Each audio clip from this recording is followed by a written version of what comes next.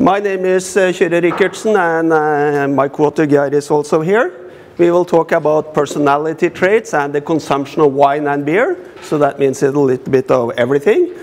Uh, we have studied uh, alcohol consumption before in Norway and wine consumption specifically in a paper and then we found that very many variables affected the consumption of wine in Norway over time, uh, like income uh, obviously, and also prices have been quite stable, so they didn't have so much of an effect, but also marriage, education, place of living attitudes towards religion and hedonism.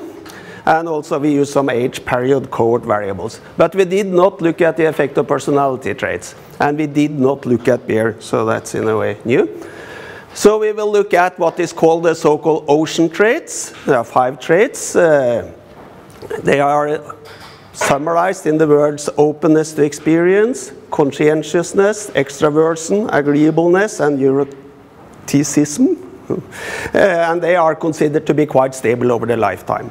uh, these traits have been used to study the effects of consumption of a lot of uh, food attributes and also for wine taste for sweet taste in white wine, actually. And also food values they've been used to study, organic local foods and genetically modified foods. So what we want to do now is to investigate the effects of the ocean traits on wine consumption and beer consumption, actually. And we want to see if it's any differences in, on, in the traits of wine and beer drinkers. So here are a bit more about the traits. I don't have much time to go into it, but uh, the five traits uh, are defined by the American uh, Psychological Association in 2007. And we use a 20 item version of it. A short one that you can do in a survey. It's developed uh, specifically for that survey by some psychologists. Uh, we used a big Norwegian survey for the year 2015. It's the most comprehensive consumer survey in Norway. Uh, it's conducted biannually since 1985, but only for that year they included uh, those traits so we could analyze it. So it's about 3,482 respondents that we use that are, we are looking at respondents aged between 18, not 1, 18 and 80 years. I don't know why I wrote one.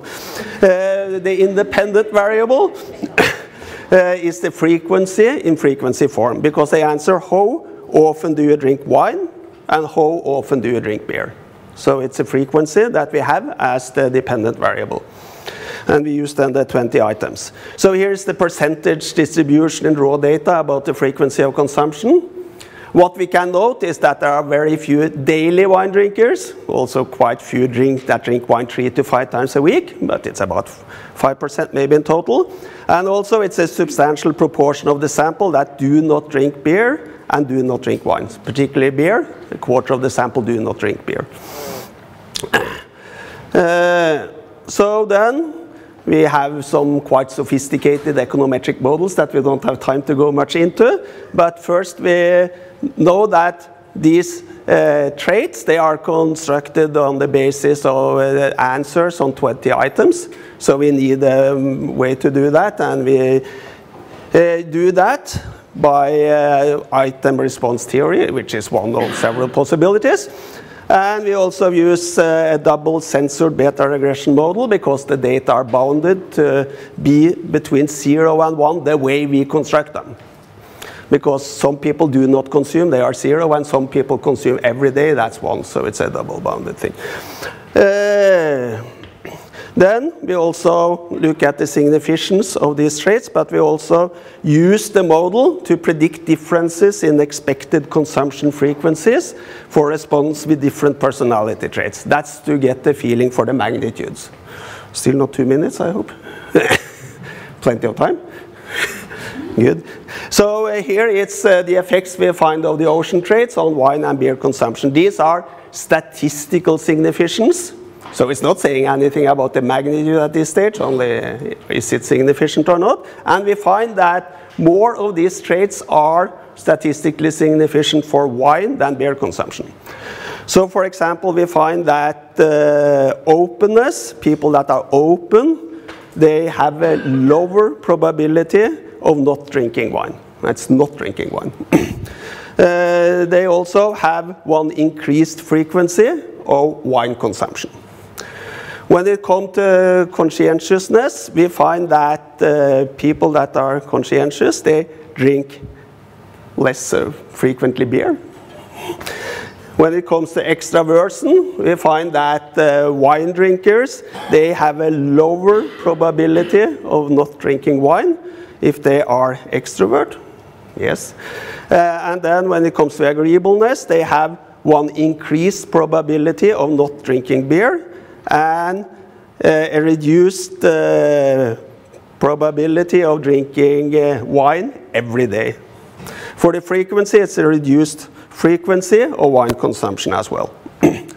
so it, to get the one idea about uh, the quantitative importance of each of these factors, we did a simulation exercise. So we calculated the consumption frequencies for the 10% scoring highest on each trait and the consumption frequency for the 10% scoring lowest. So we have these two quantiles and we look at the difference between these quantiles then and kept all other variables at their mean values. so when we did that, we found some statistical differences. Uh, they are marked in green, but it's not so easy to see it's green up here. But we find, for example, if we look at openness, we find that people that are in the highest quantile on openness, they drink wine about uh, almost five times more occasions per year than other people. So this is per year. Uh, and we find that extrovert people, that's also uh, significant, they drink wine almost four times more frequently. And people that are agreeable, they drink wine uh, less frequent, about four times. For beer drinkers, it's no significant differences. So that means that beer drinkers, they are distributed evenly uh, across the distribution of these traits.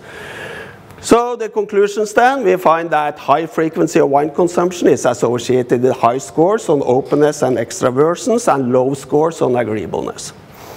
We find that high frequency of beer consumption is associated with a high score on extraversion. We think that these results are plausible in the sense that extroversion, it would be associated with participating in social events like this. And when you go to social events, it's frequently consumed wine or beer, so it's, it's no big surprise in a way. Openness, it's associated with openness uh, for new experiences and also to have a high cultural capital. And it seems like wine drinkers or people that have that drink more wine. Agreeableness may be a bit more difficult to explain why agreeable people uh, drink uh, less, but it could be that is associated with some other traits like uh, or uh, attitudes like they are more religious or something like that. Could be that, we don't know. And we also have very many other significant variables that we don't have time to discuss. So thank you very much for your attention.